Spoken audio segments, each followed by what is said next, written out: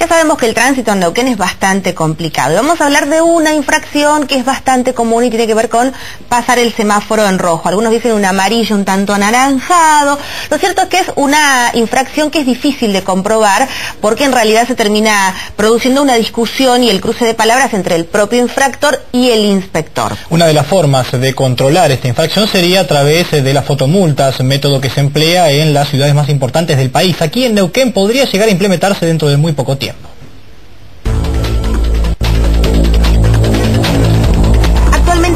Semáforo en rojo es una falta bastante común en el tránsito neuquino, pero difícil de comprobar.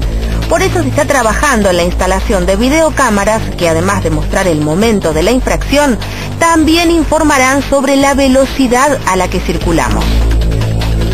Estamos con los pliegos licitatorios para comprar la, las máquinas y el sistema, eh, lo que se está comprando es, eh, la foto se saca y automáticamente va al tribunal de falta, de forma tal de que si quiere hacer un pronto pago el que toma la, el que le hace la infracción pueda ir y ya tenerlo en el momento y aligerar un poco el tribunal de falta, ¿no? Y si no, bueno, se verá.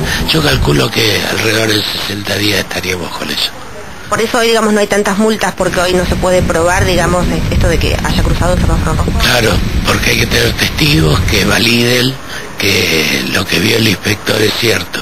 Y la verdad que lo, a muchos les gusta. Así que eh, no tenemos muchos semáforos en la ciudad de Neuquén, con lo cual no, debería. Y el otro problema, bueno, es de noche, que muchos creen que el semáforo rojo de noche no hay que respetar y ahí tenemos variedad de accidentes, más que multas, accidentes cuando uno frena y los otros no, o está cruzando un peatón creyendo que está en verde, o sea que está en verde para él y el del rojo sigue, ¿no? Realmente en eso fundamentalmente en motos tenemos muchísimos problemas.